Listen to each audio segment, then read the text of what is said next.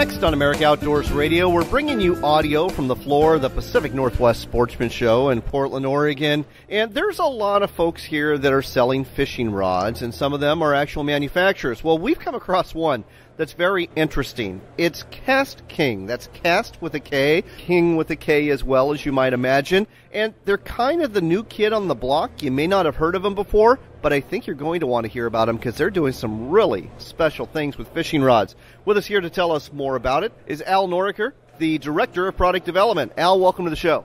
Hey, thank you very much. We're really excited to be here at the Pacific Northwest Sportsman Show. We've been doing shows all over the country this year already. I've been in Edison, New Jersey, and Denver, Colorado. Shortly after I leave here, I'll be down in South Carolina launching a brand new line of uh, bass fishing rods for the elite fishermen down at the Bassmaster Classic. So we are really crisscrossing the country right now, visiting fishermen and anglers in all parts of the country, all different techniques, and certainly all different species. So I want to talk a little bit about your rods because there's a couple things going on with them. Number one, extremely lightweight. Number two, definitely high quality from what I'm seeing, but at a very good price point. How are you managing all of this? Okay, so the, the KastKing story is a really uh, unique story. Uh, I come from a background of traditional retail and traditional manufacturing to retail, and the KastKing story is quite different. We are a consumer direct business. We sell all of our products through e commerce, mostly through Amazon and other facilities like, uh, like Amazon around the country and uh, really around the world. So, what we're able to do, and, and KastKing has been known for really very high quality, high performance products that are incredibly priced to bring exceptional value to the consumer. And we're able to do that but through our own manufacturing ability and designs, but yet we don't have all those middle levels of uh, markups that raises prices to the consumer. We don't have sales reps around the country that uh, have bills to pay and expenses to cover. So what we do is we put as much quality and performance into every product that we make, and that includes uh, braided fishing lines, fly lines, uh, certainly spinning reels, casting reels, and now at this show launched a new series of salmon steelhead rods called KastKing Krome. That's spelled K R O M E. Uh, it kind of goes along with the way, as steelhead and salmon fishermen, we talk about chromers. Uh, and nice mint bright, fresh from the ocean uh, chrome salmon and steelhead, and that's the name of this series. This is a line of rods that is extremely high quality. If you were to look at these rods, and I wish I could show your uh, your listeners these in person, but uh, if you see these rods, you'll understand very quickly that this is a very different rod.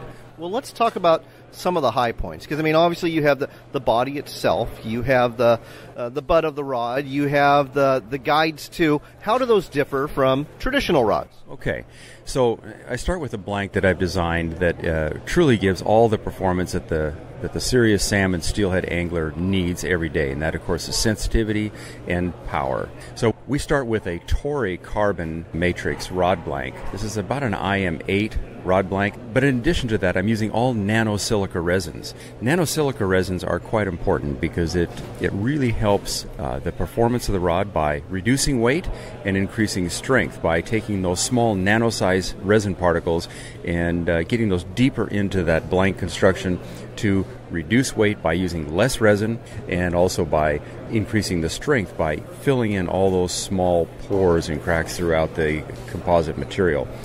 So tell me briefly about the tangle free guides and how they're tangle free and how they're different from guides you'd find on a regular rod. Okay, so the Fuji K frame uh, tangle free guides. It's the actual uh, shape of the guide which makes it tangle free. It allows that braided line to kind of slip over the side of the frame of the guide so that you don't have those wind knots and tangles. Much higher performance guide, and they're very expensive, but you'll only find those on really the highest quality rods in the industry out there and I've I've definitely had those tangles, so I'm I'm glad to see this again, folks. These are are beautiful rods. It's the Kromer with the K, but the next question I have for you is, you know, just listening to you describe this, I'm thinking these got to be $300, $400 rods. What is the price point?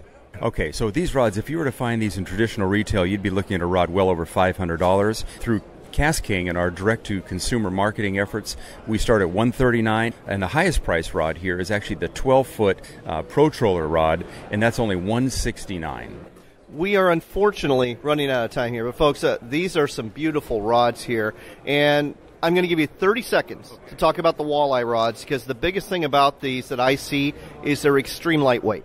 Okay, 11 rods in the series, 640,000 strain rate rods, less than 3.4 ounces on most models, extremely sensitive. Got to find one of these for sure. Absolutely, and I can't wait to hear more about the new bass rods too. Again, the company is KastKing. That's cast with a K, king with a K. You're not going to find them in retail stores. You've got to go online. You've got to go to places like Amazon or to their website at Cast King, K A S T King dot com. Check out their rods, check out their reels, check out their fly line. They've got all sorts of stuff, very high quality, but at a price point you're going to appreciate. Al, thanks for telling us about this on America Outdoors Radio.